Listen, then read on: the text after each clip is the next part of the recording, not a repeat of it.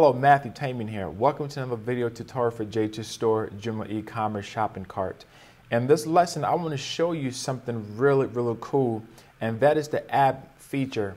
So on your dashboard, you click on apps, and it's going to show you the applications that you currently have. And if you want to get more apps, you click on Get Apps.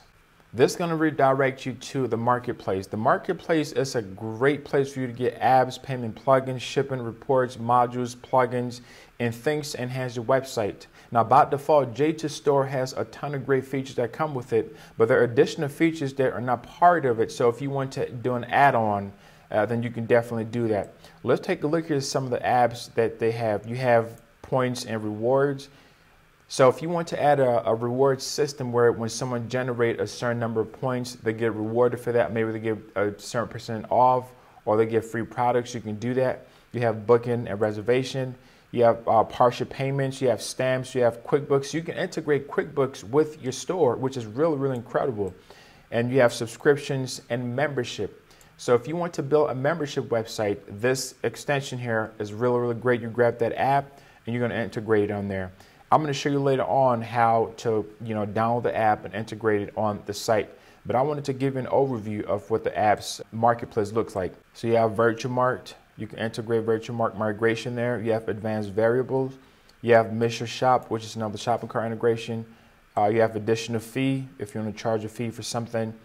So let's take a look here at the payment plugins. There's so many payment options available now that you can come to this uh, the marketplace and choose one that you're using. So if you're using Stripe, which is great, Square, or the the popular PayPal, you have PayPal uh, Basic, you have PayPal Plus, you have PayPal Pro, or Authorized.net.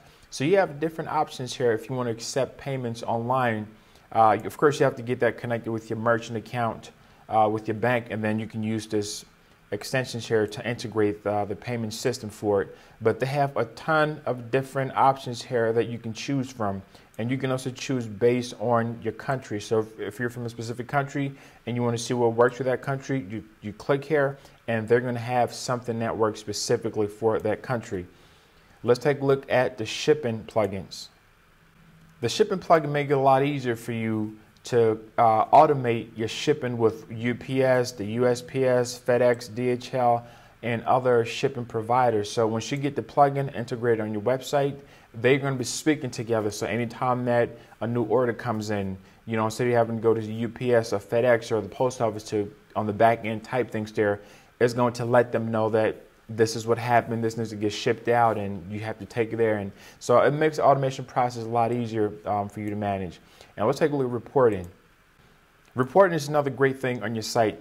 You have here the download, the download content. This lets you know how many times an item has been downloaded. So if you have a, a DVD or a software that people have to download, then you can get this here as free. And it shows you how many times it's been downloaded. And then you have the abandoned cart and you have to report details. So the abandoned carts, that's really great because sometimes you have people come on your website and they get to the part where they're supposed to check out and they abandon the cart, where you can find out how often that happens, why it's happening, so you can uh, work on that. And then you have the modules. Modules are or other extensions you can be able to integrate in your website is going to be a different module positions of your site. And when we get to the section of the lesson where you start learning about module positions, this is going to make a whole lot more sense. But you have module position product categories, related products. Uh, you have product display and different things. Next, next, let's take a look at the affiliates. They currently have three affiliate uh, plugins you can be able to integrate on your site now. Uh, one of the ones that I use is iDev Affiliate. You can integrate it with your website. Of course, once you've set that up with iDev Affiliate, then there's a piece of code that you get the tool to interact. And then you have Affiliate Tracker, which is primarily Joomla's uh, affiliate. And you have Share of Sales Affiliate, which is another popular option that you can be able to utilize. So if you have an affiliate program, you can integrate this directly on your shop and it's going to work flawlessly. Templates are really great.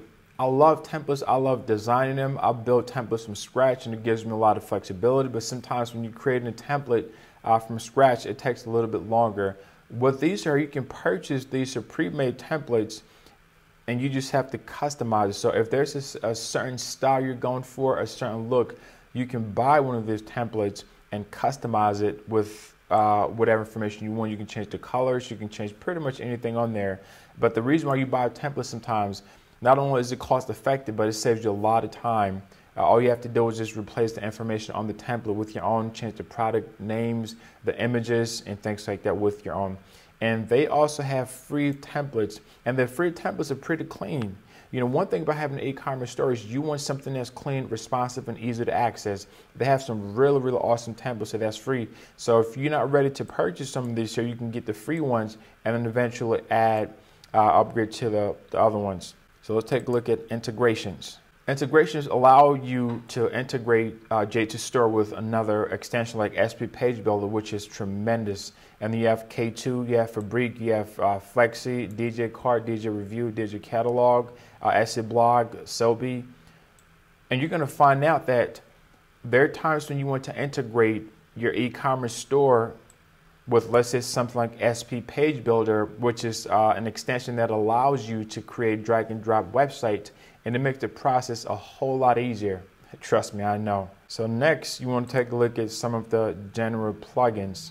And these are just OS Map J2 Store plugin and the European VAT uh, plugin that you can grab to integrate on your website, and those are free as well. So we've come to the end of the marketplace. Make sure that you subscribe to the YouTube, like on Facebook, follow on Instagram and Twitter, because anytime that a new video like this one is being released, you're going to be the first person to get it. So you can get immediate access to it and, and start watching it.